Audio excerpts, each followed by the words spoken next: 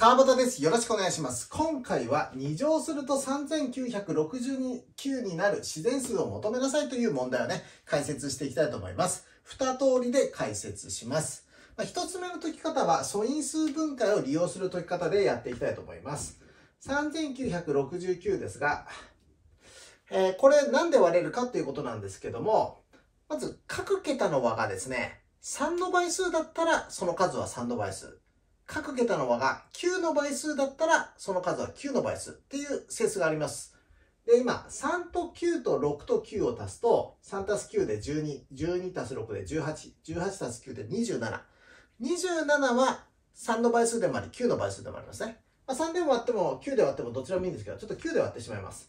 9で割ると、四9 36、で、36で四9 36、9 1が9というふうになります。で、441も、これ4たす4たす1で9ですね。っていうことは、えー、各位の和が9なので、やはりまた9で割れると。9の倍数だよと。9でやってみると、えー、636で81なので、九九81。で、49っていうのはこれ7で割れますね。7、7と。そうすると3969という数は、9×9×7×7。つまり9の2乗かける7の2乗という具合になりますね。で、9の2乗かける7の2乗っていうのは、かっこ9かける7の2乗と。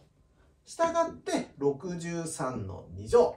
よって答え、ね、何の2乗が3969ですかっていうことで答えは63という具合に出すことができます。これがね、一つ目の解き方なんですけれども、まあ、二つ目の解き方ですね。もうなんか見つけりゃいいんだろうっていう考え方でね、えー、ちょっとやっていきたいと思います。えどういうことかというと、まあ、2乗して3969になる数ですね、を大体ちょっと検討して見つ、検討をつけて見つけていきたいと思います。例えば、えー、50の2乗。ね、これ2500になりますね。だから、あ、50より大きいなってことはわかります。じゃあもうちょっと大きくて60の2乗。60×60 はこれ3600で、あ、3969に近づいてきた。じゃあ70の2乗はどうかって言ったらこれ4900ですね。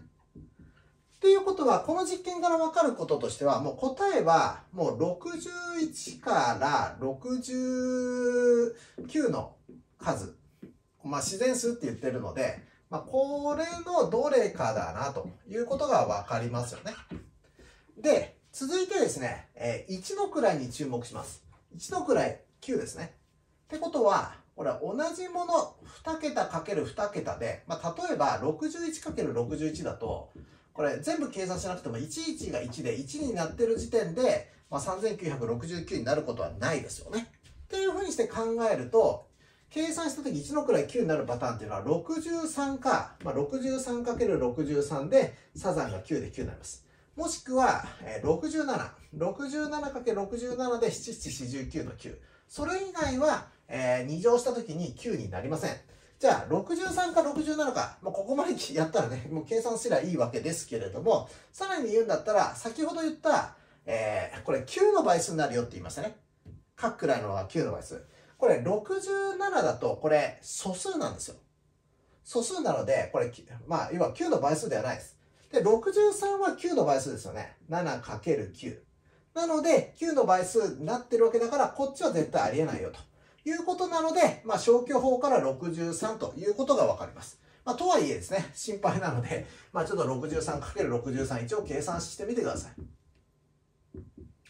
えー、そうすると、3969ということになりますね。なので答え63という具合に、まあ、検討をつけたね。まあ、これもちろん自然数っていう条件があるから、こうやって解くことができるんですけども、まあこういう考え方もね、えー、大切かなというふうに思います。わかったかな？以上で解説を終わります。